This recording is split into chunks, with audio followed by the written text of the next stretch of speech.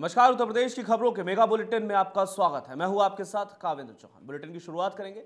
Samajwadi party supremo Akhilesh Yadav लगातार UP की योगी सरकार पर हमलावर हैं। उन्होंने खुले खत में कई मुद्दों को लेकर सूबे की सरकार पर निशाना साधा।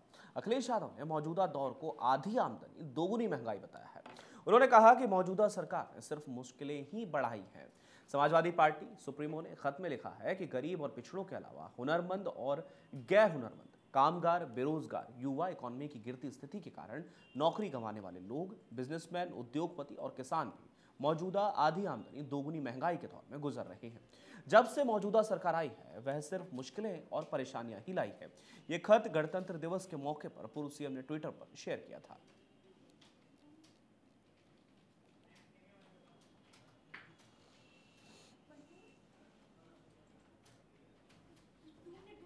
कानपुर देहात में थाना भोगनीपुर पुलिस और स्वाट टीम की तरफ़ से सघन चेकिंग के दौरान तीन नफर अभियुक्तों को गिरफ़्तार किया गया है। इसी के साथ ही पुलिस ने गिरफ़्तार अभियुक्तों के पास से भारी मात्रा में मादक पदार्थ और एक अदद अवैध तमंचा और दो अदद कारतूस भी बरामद किए हैं। इसी के साथ ही पुलिस ने गिरफ़्तार अभियुक्तों को जेल भेज दिया है और आगे की कार्रवाई में जुट गई है। तो आपको खबर बता रहे हैं हम, ये खबर है जहाँ पर कानपुर देहात की, जहाँ थाना भोगनीपुर पुलिस और स्वाट टीम की तरफ़ से सघन चेकिंग अभियान के दौरान तीन नफर अभियुक्तों को गिरफ़्तार किया गया। इसी के साथ ही पुलिस ने गिरफ़्तार अभियुक्तों के पास से भारी मात्रा में मादक पदार्थ और एक अदद अवैध तमंचा और दो अदद कारतूस भी बरामद किया है। इसी के साथ ही पुलिस ने गिरफ़्तार अभियुक्तों को जेल भेज दिया है। तो चलिए, बुलेटिन में आगे बढ़ते हैं, आपको एटा लिए चलते हैं। उत्तर प्रदेश में विधानसभा चुनावों को अब कुछ ही दिन बचे हैं। ऐसे में तमाम राजनीतिक दल अपने अपने प्रत्याशियों को मैदान उतार रहे हैं। वहीं एटा से आज़ाद समाज पार्टी ने 106 विधानसभा से अशोक कुमार को प्रत्याशी के रूप में मैदान में उतारा है। ऐसे में आज़ाद समाज पार्टी के प्रत्याशी अशोक कुमार से हमारे संवाददाता मोहम्मद आसिफ ने खास बातचीत की। इस दौरान क्या कुछ कहा अशोक कुमार आसिफ ने यह आपको सुनवाएँगे, लेकिन उससे पहले आपको बता दें कि जैसे जैसे उत्तर प्रदेश में चुनावी सरगर्मियाँ तेज होती जा रही हैं, वैसे ही वैसे समाजवादी पार्टी हो, बीजेपी हो, और ऐसे में और भी अन्य कई छोटे दल हो, सभी अपने प्रत्याशियों को मैदान में उतारने की कोशिश कर रहे हैं, जद्दोजहद कर रहे हैं। ऐसे में जो गठबंधन की स्थितियाँ हैं, वहाँ तो प्रत्याशियों के नामों की घोषणा भी होती नज़र आ रही है। ऐसे में आज हम ज़िक्र कर रहे हैं राजनीतिक दल आज़ाद समाज पार्टी का जिसने कि 106 विधानसभा से अशोक कुमार को प्रत्याशी के रूप में मैदान में उतार दिया है। अशोक कुमार से हमारे संवाददाता आसिफ ने खास बातचीत किया है। क्या कुछ कहा अशोक कुमार ने? आपको सुनवाते हैं। नमस्कार स्वागत है आप सभी का न्यूज़ इंडिया में। मैं हूँ आपके साथ आसिफ। आज मैं एक ऐसे मेहमान के साथ आया हूँ जिन्हें चंद्रशेखर आज़ाद भाई ने 106 विधानसभा के लिए अपना दावेदार घोषित किया है। मैं स्वागत करता हूँ। सबसे पहले उनका परिचय देने की कोशिश करूँ। अशोक कुमार जी मेरे साथ मौजूद हैं। उत्तर प्रदेश पूर्व शासन के डिप्टी सेक्रेटरी हैं। सर बहुत बहुत स्वागत है आपका न्यूज़ इंडिया में। जी बताएँ। ऐसा महसूस कर रहे हैं चंद्रशेखर भाई ने आपको दावेदार 106 का समझा? मैं बहुत अच्छा महसूस कर रहा हूँ। उन्होंने मुझ पर भरोसा और वो प्रदेश में ही नहीं पूरे देश में जुझारू मतलब युवा ने, नेता के रूप में जल्दी से जल्दी जो है आगे बढ़ रहे हैं और प्रगति कर रहे हैं। तो क्या लगता है 2022 में कौन बन सकता है मुख्यमंत्री? अब ये तो कहना अभी मुश्किल है क्योंकि परिणाम के बाद ही पता पड़ेगा और परिस्थिति ऐसी है कि हर जगह से एक दूसरे पार्टी में लोग आ जा रहे हैं तो जब परिणाम आएगा तब जो है कोई मुख्यमंत्री बनने की स्थिति पता पड़ेगी क्या होगा पहले से किया जाना भी कुछ भी संभव नहीं है। जैसे कि जाना जाता है कि आप पूर्व डिप्टी सेक्रेटरी रहे उत्तर प्रदेश शासन के तो कैसा रहा कि आपको क्या लगा कि आप राजनीति में आए? पहले से था या अचानक हुए आप? जी नहीं वो अचानक ही ऐसा हुआ। वैसे मैं पहले भी बाम सेफ़ बगैर बाम सेफ़ और जो है अन्य संस्थाओं से जुड़ा रहा हूँ और ये आपका जलेसर विधानसभा क्षेत्र है। अच्छा राजनीतिक दल की बात करूँ तो चंद्रशेखर आज़ाद ही क्यों? इसलिए कि वो अन्य ने अन्य दलों के जो नेता होते हैं वो सिर्फ़ अपने एसी कमरों में बैठ के अपने महलों में बैठ के या अपने कार्यालयों में बैठ के सिर्फ़ फ़ोनों से ट्वीट करते हैं। अगर किसी की परेशानी होती है कोई गरीब है दलित है या जिसको देश या प्रदेश में सताया का कहना है कि चंद्रशेखर अभी बहुत नए हैं और मायावती को क्या वो हरा पाएँगे? जी। क्या उनका वोट वो अपने समर्थ में ले पाएँगे? ऐसा है बहन मायावती की स्थिति क्योंकि वो हमारी भी सम्मानित और हम भी बहन मायावती से दो तीन बार मिल चुके हैं उनका अच्छा वो रहा है लेकिन इस अवधि में उनके द्वारा काफ़ी ऐसा देखने को मिला है कि उनके द्वारा वर्तमान जो है, सरकार के विरुद्ध जो भी उन्होंने गलतियाँ की हैं या जो भी प्रदेश में अपराध बढ़े या जो भी घटनाएँ घटी, उन्होंने जो खुलकर उस उस जो है सरकार के विरुद्ध कभी कुछ बोला नहीं। चंद्रशेखर भाई ने बहुत पहले से आवाज़ उठाते रहे हैं और हर जगह पर उपस्थिति उनके द्वारा दर्ज ही नहीं कराई गई है। विकास है या आय दोगुनी आय दोगुनी नहीं आय दोगुनी कभी किसी की नहीं हुई है सिर्फ़ ये कागजों पर चलता है मामला। बेरोजगार बेरोजगारी रहा पाँच साल तक। जो रोज़गार है। अगर ये अगर बताइए अगर उसको रोज़गार मिला होता तो भाजपा सरकार में उस थैले में दस दस किलो अनाज और दस दस किलो ये चीज़ें वितरित क्यों जी जाती? लेकिन रा- लेकिन लेकिन राष्ट्रीय अध्यक्ष बीजेपी के जेपी नड्डा जी तो कहते हैं डबल इंजन की सरकार है राशन घर घर पहुँच रहा है। अरे यही तो मैं कह रहा हूँ राशन घर के उनको अपंग बना रहे हैं क्योंकि वो ये चाह रहे हैं कि बस सिर्फ़ इसी पर निर्भर रहें। उनको अगर स्थायी रोज़गार मिल जाएगा तो उसकी ज़रूरत ही क्या है?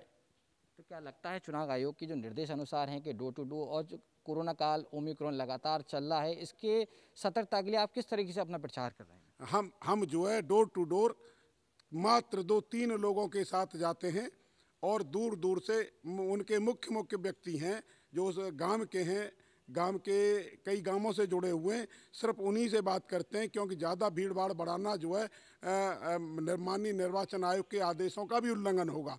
क्योंकि हम शासन में रहे हमने नियमों का सदैव पालन किया है हम यहाँ भी पालन कर रहे हैं। सभी पार्टियाँ हाँ। उत्तर प्रदेश में सत्ता वापसी के लिए एक रिझाने का काम करती है कहती है कि हम बिजली मुफ़्त करेंगे किसानों की बिजली और बिल माफ़ करेंगे हाँ। जबकि ये एजेंडा आम आदमी पार्टी का है हाँ। और सभी पार्टियाँ कर रही हैं ऐसे में आपकी पार्टी का क्या एजेंडा है 2022 के लिए देखिए मेरा ये कहना है जो लोग ये कह रहे हैं हम मुक्त करेंगे इधर आपको बिजली मुक्त कर सकते हैं मुफ़्त में दे सकते हैं लेकिन उसी पैसे को निकालने के लिए आपको दूसरे दूसरे कोने से आप पे ही टैक्स बढ़ा के उसको आपसे ही लेंगे। आपका इशारा अगर मैं मान सकूँ जिस तरीके से पेट्रोल बढ़ाया पेट्रोल की कीमत दाम करी यानी दाम कम नहीं जो बढ़ाया वो घटाया। और वहीं पे जैसी प्रीपेड कंपनियाँ पोस्टपेड कंपनियाँ मोबाइल की हैं वहाँ पर पैसा बढ़ा दिया गया। जी बस सर ये है कि आप इधर कान पकड़ रहे हैं उधर कान से उधर खींच रहे हैं इधर सहला रहे हैं उधर खींच रहे हैं। हकीकत जनता का दर्द है मरहम भी खुद लगाए। जी कहने का मतलब है कि जनता को एक तरफ़ मूर्ख बनाने की कोशिश कर रहे हैं और दूसरी तरफ़ उसको उसी उसी से ही खींच रहे हैं जो उसके लिए फ़ायदे की बात कर रहे हैं। वो सिर्फ़ जनता का पैसा इधर से उधर जनता के लिए करके कर रहे हैं जनता को कोई राहत नहीं दे रहे हैं। जैसे कि भारतीय जनता पार्टी कहती है कि बेटी सुरक्षित है प्रदेश भर में इस पर आपका क्या सवाल है? जी। बेटी सुरक्षित है प्रदेश के अंदर। अरे आपने तो स्वयं देखा है हाथरस की घटना देखी है। इलाहाबाद की घटना देखी है कहाँ कहाँ कितनी घटनाएँ हुई हैं, आप तो स्वयं प्रत्यदर्शी होंगे, यदि आप वहाँ गए होंगे, कितनी घटनाएँ हो रही हैं। अब ये तो मैं नहीं कहूँगा कि हर आदमी लाल टोपी वाला भी गुंडा होता है, लेकिन हमारा ये कहना है कि जिस पार्टी में एक अनुशासन हो जिसमें पढ़े लिखे शिक्षित व्यक्ति हों सरकारी सेव सेवा करने वाले हों जिन्होंने कानून का पालन किया और कराया है वो कभी ऐसी स्थिति अपनाने ही नहीं दे सकते। प्रदेश में इस बार जातिवादी पर चुनाव होगा? ये मुझे नहीं लग रहा है जातपात पर चुनाव होगा। वो सिर्फ़ ये देखेंगे कि अच्छा प्रत्याशी कौन है पढ़ा लिखा है जो हमारे बीच में रहे और हमारी समस्याओं को सुन सके। क्योंकि जातपात का मतलब तो यह कि जातपात को बढ़ावा देना है। मेरा आपसे आखिरी सवाल। जी। अगर चंद्रशेखर आज़ाद सत्ता में आते हैं और जब मतपेटियाँ खुलेंगी और मतपेटियाँ खुलने के बाद हो सकता है कि आपकी किस्मत भी खुले तो आप अपने 106 विधानसभा के लिए क्या रोज़गार लाएँगे क्या स्वास्थ्य पे काम करेंगे क्या सुरक्षा पे क्या विकास पर? देखिए मैं शासन में रहा हूँ मैंने 26 वर्ष शासन में रह के सेवा की है और बहुत से नियम प्रणयम ये बनाए जाते हैं। जब अगर यहाँ की जनता मुझे चुनती है तो मैं जनता के स्वास्थ्य का भी ध्यान रखूँगा मैं पूरी कोशिश करूँगा कि जनता हमारी इधर उधर कहीं दूर न भटके, उसे तत्काल जो है जो है स्वास्थ्य सेवाएँ मिले। शिक्षा भी बहुत पिछड़ी हुई है, मैं शिक्षा विभाग से ही अभी सेवानिवृत्त हुआ हूँ, माध्यमिक से। और काफ़ी मैं, बहुत सी ऐसी मैंने चीज़ें देखी हैं उनको भी मेरी कोशिश होगी या कोई भी जीआईसी सरकारी माना जैसा शासन में रहकर आपने देखा कि शासन के लोग विकास नहीं कर रहे इसलिए आप मैदान में उतरे लोगों की विकास को लेकर बिल्कुल मैं हर इंसान को जो इंसान की जहाँ जिस गाँव की उसकी समस्या है रोडों की विकास की या कहीं किसी भी प्रकार की होगी तो क्योंकि मैं यहाँ से अगर विधायक चुना गया मुझे मे, मेरे ऊपर लोगों ने मेहरबानी की मेरे ज, मेरे भाइयों ने और अगर मुझे भेजा तो मैं यहाँ के तो पूर्व में बनने वाले विधायक भी जो है ये पाँच साल में नहीं जान पाते कि कौन काम कहाँ से किस विभाग से होता है जो मैं पहले से ही इसके लिए मैं पहले से ही तैयार हूँ। तो हमारे आखिरी सवाल न्यूज़ वाल इंडिया की टीम से आप प्रदेश को और एटा वासियों क्या एक संदेश देना चाहेंगे जागरूक के लिए? मैं तो यही कहूँगा कि सिर्फ़ उनको ही वो वोट करें न कोई ये राष्ट्रीय पार्टी है या निर्दलीय है या अभी तत्काल की पार्टी है इंसान सही है जो आपके बीच में रहेगा आपके सुख दुख दर्द को सुनेगा आपके विकास के लिए काम करेगा आप उसी को वोट दें। बहुत बहुत शुक्रिया आपका हमारे न्यूज़ इंडिया में जुड़ने के लिए ये हमारे साथ बात करने के लिए मौजूद थे पूर्व डिप्टी सीएम शासन के लिए Ashok Kumar ji news world India at वहीं कानपुर देहात में थाना भोगनीपुर पुलिस और स्वाट टीम की तरफ़ से सघन चेकिंग के दौरान तीन नफर अभियुक्तों को गिरफ़्तार किया गया है। इसी के साथ ही पुलिस ने गिरफ़्तार अभियुक्तों के पास से भारी मात्रा में मादक पदार्थ और एक अदद अवैध तमंचा और दो अदद कारतूस भी बरामद किए हैं। इसी के साथ ही पुलिस ने गिरफ़्तार अभियुक्तों को जेल भेज दिया है और आगे की कार्रवाई में जुट गई है। तो कानपुर देहात से तस्वीर आपको दिखा रहे हैं, जहाँ पर पुलिस को बड़ी सफलता हाथ लगी है। आपको बता दें कि थाना देहात पुलिस को ये बड़ी सफलता हाथ लगी है, जहाँ पर पुलिस ने नफर अभियुक्तों को गिरफ़्तार किया है।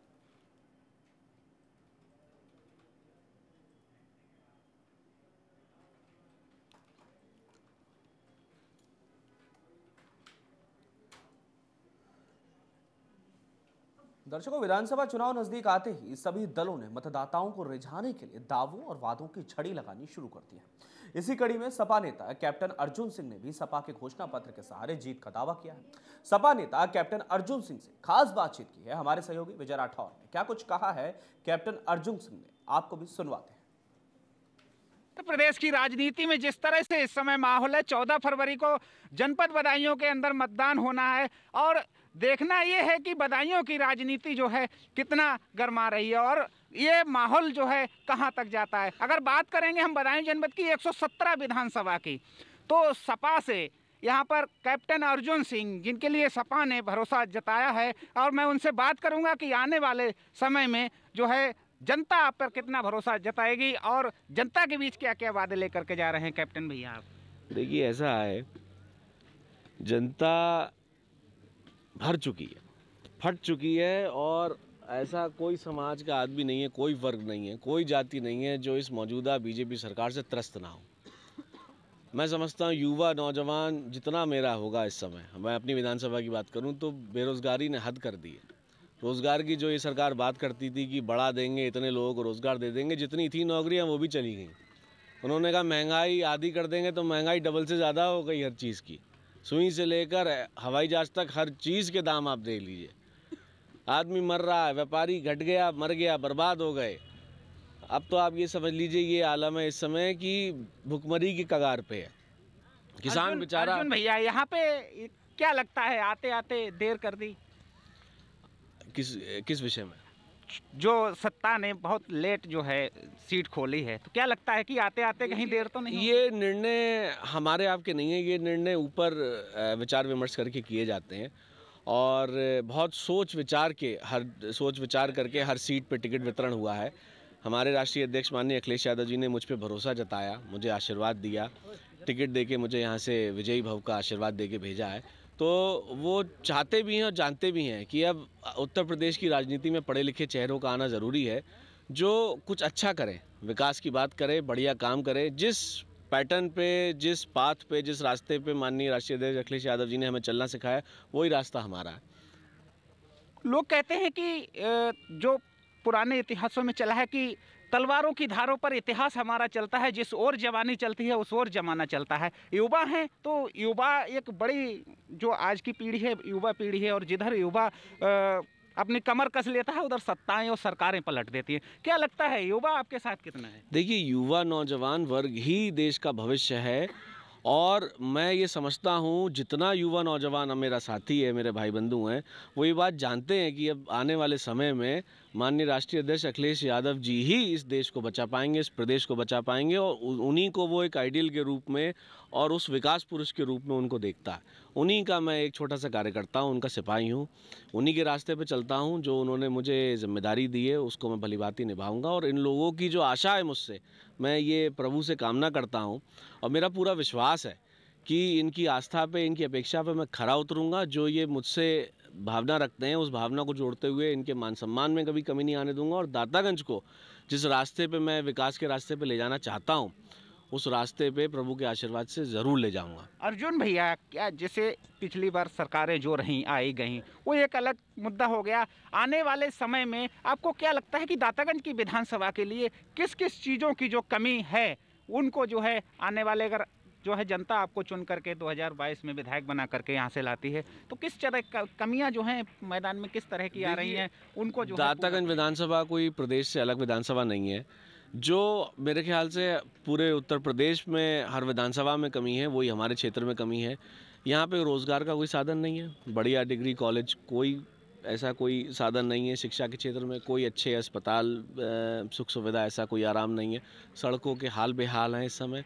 जो सुविधा हैं भी सरकारी, वो भी लोगों तक नहीं पहुँची हैं। और बाकी तो आप भली बात ही जानते हैं।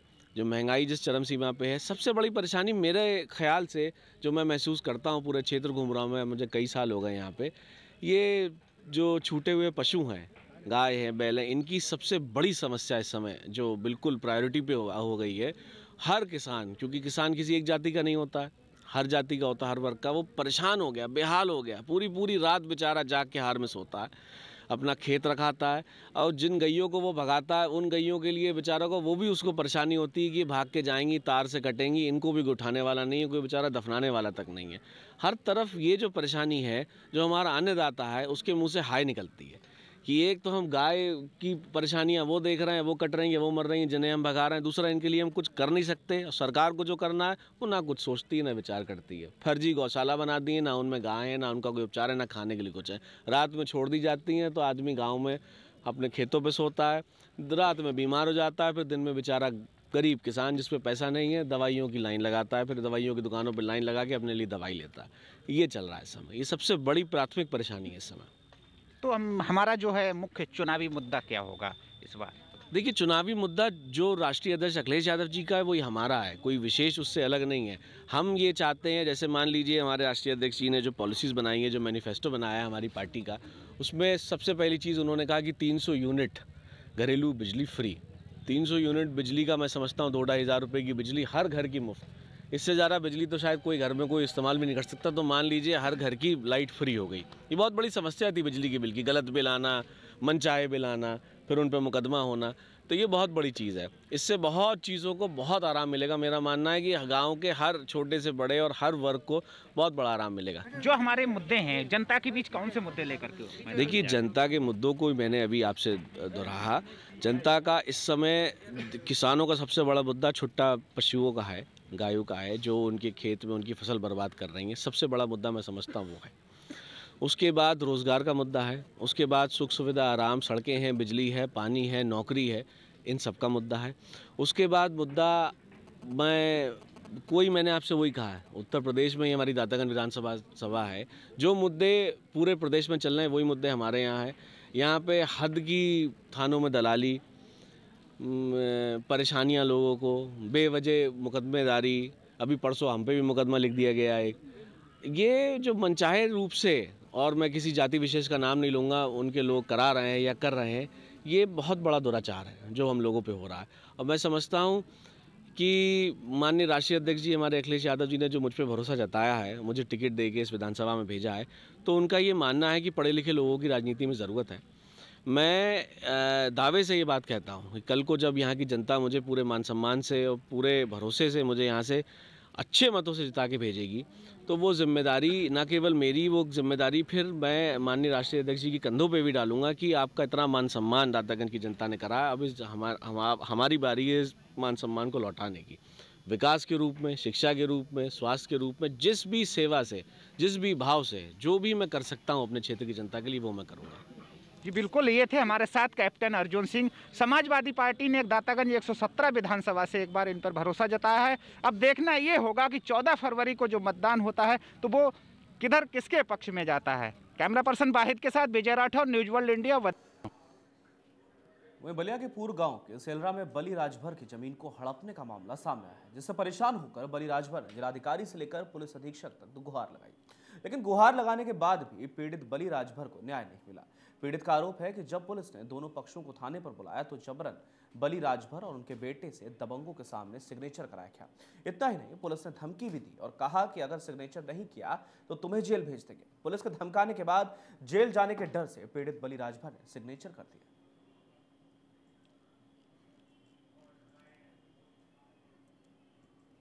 है कि साहब, हम सैंतालीस डिसमिल ज़मीन लिए थे बाबू जोगिंदर सिंह से। आ, वो ज़मीन हमको चक वहीं पर मिला था। लेकिन हमारा जो विपक्षी है, हमारा ही नंबर, ज़्यादा मालियत में देकर हमारा ज़मीन हड़प लिया है। इसके बाद हम सिकंदरपुर से वहाँ भी नहीं गए, फिर से बलिया गए। वहाँ भी उसी तरह हम बहुत परेशान हो गए हैं। यहाँ तक कि हमारा परिवार थाने में, हमारा खेत उसी तरह है, आकर चेक किया जाए। वहीं फरकाबाद के कमालगंज में ठंड और बीमारी से अधेड़ की मौत हो गई। बताया जा रहा है कि वो कई दिनों से सामुदायिक स्वास्थ्य केंद्र कमालगंज के चक्कर काट रहा था। अस्पताल प्रशासन पर उसका इलाज ना करने का आरोप भी लगा है। साथ ही स्वास्थ्य केंद्र और जिला प्रशासन की ठंड से बचाव को लेकर इंतज़ाम में बड़ी लापरवाही भी सामने आई है।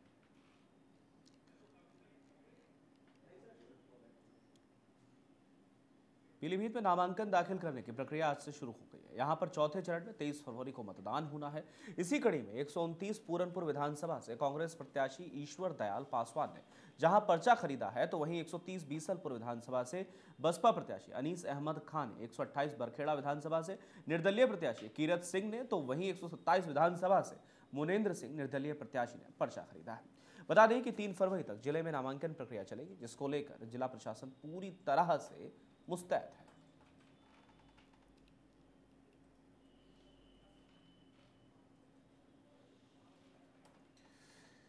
जनपद पीलीभीत की चारों विधानसभाओं के लिए आज नोटिफिकेशन हो गया है और नामांकन की प्रक्रिया जारी हो गई है।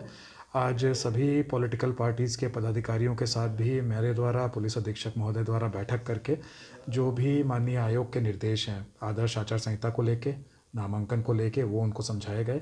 हमारी जो बैरिकेडिंग और अन्य व्यवस्थाएँ हैं आर के चेंबर की, जहाँ पे नामांकन होना है, उसका भी हमने सुबह जायज़ा लिया है और सभी ड्यूटियाँ मौके पे पहुँच गई हैं। सभी पुलिसकर्मी भी तैनात हैं और हम लोग उम्मीद कर रहे हैं कि बहुत ही शांतिपूर्ण तरीके से आयोग के निर्देश के क्रम में ये नामांकन प्रक्रिया पूरी कराएँगे और उसके आगे चुनाव भी उसी तरीके से रहेंगे।